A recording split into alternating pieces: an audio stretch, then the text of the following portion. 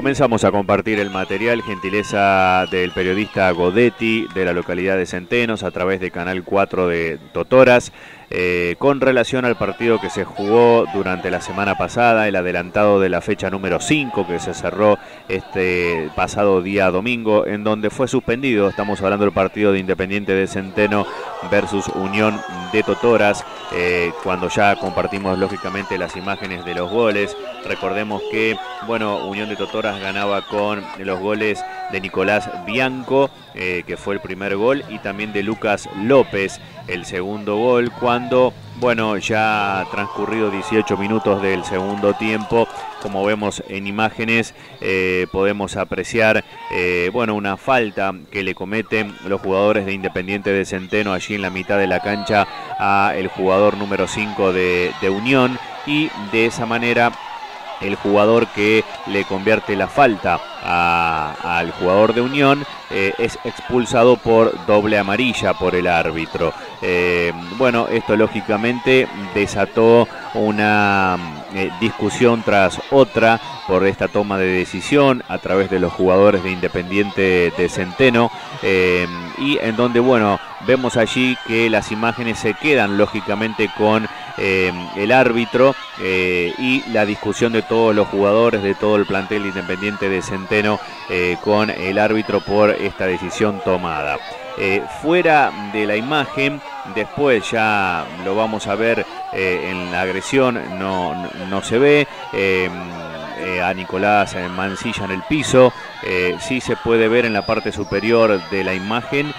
cuando un jugador de Unión lo saca al jugador que agrede a Nicolás Mancilla, que cuando la cámara ya vuelve lo podemos ver allí en el piso y eh, ya eh, con el golpe recibido, eh, convulsionando en el piso y allí bueno ya se terminaron todas las discusiones, rápidamente se solicitó, se pidió la presencia de la ambulancia que ingresó al campo de juego para retirar al jugador que recordemos en primera instancia había quedado inconsciente, eh, que sufrió fractura de tabique y que fue rápidamente trasladado a el nosocomio, más eh, eh, cercano como fue inicialmente la clínica de la vecina ciudad de San Genaro. en la parte final de la imagen podemos ver bueno cómo se sube Fabián, el papá de Nicolás Mancilla, a la ambulancia para, bueno, directamente ir a, esta clínica para comenzar con los primeros estudios, que fueron tomografías y demás, y que ya estando en la clínica